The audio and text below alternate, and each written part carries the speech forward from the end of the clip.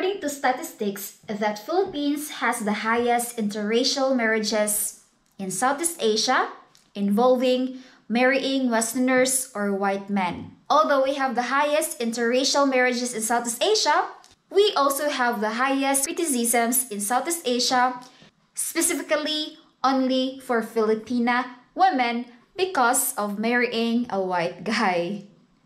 So I guess this topic is not often talked about and I'd like to talk about this topic in behalf of those Filipinas who married a white guy with good intentions. And if you're gonna ask me why I'm gonna talk only for those Filipinas who married a white guy, because many Filipinos in my country doesn't really care about us if we're married to other Asians or a black guy, but they become very interested about our life once we are married to a white guy. So if they know about that, expect that we are gonna experience a lot of challenges along the way. And I will give these reasons why it takes to be a strong Filipina to marry a white guy. And these are also based on my experiences and based on the experiences of my other Filipina friends and I'd like to share about these things. So, number one, we mostly experience criticisms and stereotypes. So, I would say this is one of the most challenging part ever. I would say I as I experience because honestly, I always tell to myself that I don't really care about people's judgment, but deep inside it really hurt me so much, especially I could hear it from them. And they're always judging us that the reason why we married a white guy is just to get out of our country. So, a lot of Filipinos usually call us isang kababayan naman natin ang nakaahon sa kahirapan. In English, that means another compatriot has escaped poverty. So that's what they usually call us. Like everywhere I have seen it everywhere. For example, a Filipina posted a video with her, her white husband or white boyfriend and a lot of like Filipino keyboard warriors are going to comment on their social medias another compatriot has escaped poverty and so on and so forth like because they always have this kind of mindset that the reason why we chose a white guy is because we just want to get out of our country we just want to live a good life and the key for that is to marry a white guy and it's so crazy because it's also one of my experience. People's expectations are always like, is she's a Filipina with a white guy? People will immediately think she's a gold digger. Number two is the burden of expectations. Kuba and I were together for four years, and I still don't know when it stops. As years goes by, it worsens everyone expects that Jacob is wealthy or rich. But I'm not generalizing that all Filipinos are like this. But you know, poverty in the Philippines is higher. So there are still a lot of people thinking that white foreigners are rich. I even talked to my high school classmate and she chatted me like, yeah, you know, Gwen, if you you have you know someone like if you know someone a foreigner if you can give me and then we up until we have this kind of talk that I told them that no, not not all white guys are rich. They are just the same as us who's working hard, but they are just good at saving. Unlike us Filipinos, we sucks at saving and we are just earning and then wasting the money. And you know, it's so crazy to think about it because I'm really having this kind of struggle to let people understand that their expectation or their belief is wrong. Even if I try so hard to maybe prove it to them, it's still so hard for them to understand it. Because we have this kind of culture, you know, in the Philippines, a culture of supporting our family. Every Filipino family has this kind of breadwinner. And there are instances as well that if I'm a woman and married to a Filipino Filipino guy, that Filipino guy also has to help the family if they know that he has a good work. But knowing that if I am a Filipina married to a white guy, the expectation is it becomes time, times 10. Even if I tried my best to prove it to people that it's not true by working two multiple jobs, but they will never credit our hard work because they always think that our money comes from our husband or from our boyfriend.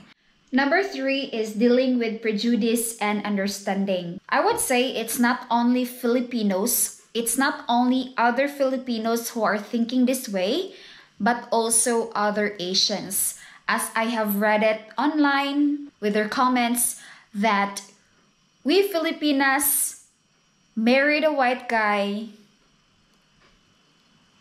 using our body as an investment. Because they said that white men usually have this kind of yellow fever or fetish against Asian women. And that's the reason why we were able to get a white guy easily. There might be some guys who are doing that but I don't generalize that because I believe that we do have different preferences. And it's so crazy to think about that these Asian people might have their own preference preferences, but shaming us Filipinas for having our own preference. We have our own preference, we have differences in our preferences that we decided to marry a white guy not because of money, not because of using our body as an investment, and especially not because we hate ourselves for thinking that we are ugly. Because that's one of the craziest things they said there online.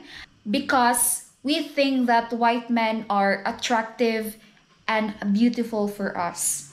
Yes, it might be. We considered might be like that in the Philippines. But I would say not all Filipino women as well are thinking that way. In my personal opinion, I married Jacob not because of his looks, but because of his personality. Knowing that there are a lot of Filipino men in my country who are only good at first, but as years goes by, once women already have given birth, they start changing.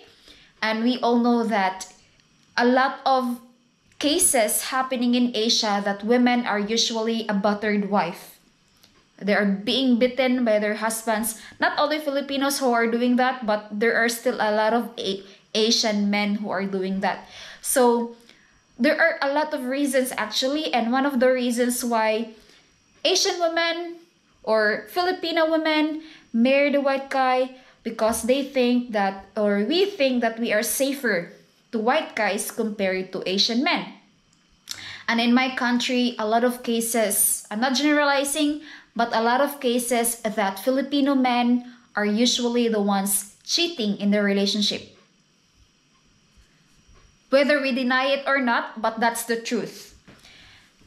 And those Filipina who were able to, um, who and those Filipina who decided to date or marry a white man because they have seen a lot of um, they have seen a lot of experiences as well from the other Filipinas that they were really happy in their relationships and were treating them right compared to being treated by a Filipino man. There are still a lot of good Filipino men, but I would say it's so hard to find them. You know, we do have our own preferences, and maybe for sure those Filipino women know their worth and they don't want to settle this kind of men, and they met a white guy who's having those kind of standards that they wanted. So that's the reason why they decided to marry a white guy. But all of those criticisms, stereotypes, prejudice, and misunderstandings coming from like negative people are actually not true. And if you have a Filipino partner or a Filipino wife, please appreciate her because she has been going through a lot from these criticisms stereotypes, judgments, simulations from people, and she's one of the strongest women in the world. And this is not the end because I am here as well and I will add my point of view about this. Me as a man, men are known to be problem solvers, Women are more those emotional creatures and everything is perfectly balanced. Gwen is that warm-hearted emotional person and as she says that I'm that cold-hearted person, which is actually true. Those Filipino women who are having those kind of troubles, there are simple solutions.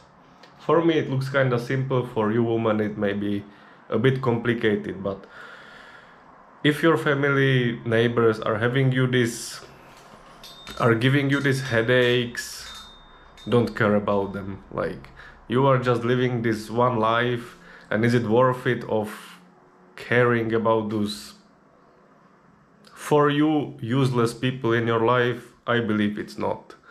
The other thing about supporting your family if you as a filipino citizen living with foreign partner it's also your choice. But if you will keep helping a little child since the young age with everything, giving that child everything, helping with everything. The child is finally adult or teenager and the child is not ready for the life. Because the child is keen will get everything everything will be solved for that child. And it's the same like with your family. If you will keep giving keep giving keep giving they will always take and their mindset will go like why should i keep trying like my stupid sister or brother is keep giving us so why we should even try so stop giving them money that's the second solution of the problem and what was the third part It's all about prejudice and misunderstanding that they think that Filipinos are just using our body as an investment to get a white guy. Because Oh. of this yellow fever belief. all around the world even here in czechia or in the philippines are poor people and rich people. Gwen couldn't marry me because of her body because the po- the pork belly is sitting down there like it's clearly not for money. I'm gaining because of you. and it's not only like in the Philippines that Filipino women or men are getting married foreigners for money. It's everywhere, all around the world. Czechia, That's true. America, USA, Russia. Maybe the intensity of Filipinos is higher than other countries, but it is what it is. I just want that to stop because it hurts my feelings. You see the warm-hearted person and the cold-hearted person. I'm so hard to I am not ashamed of that. That's who I am. That's my personality. I can be. Am I kind? You are. I am kind but cold hearted. So that's all for this video, guys. Thank you guys for watching. Gwen already finished the video. We will always appreciate any like, comment, and see you in the next video. Bye that came from my cold heart.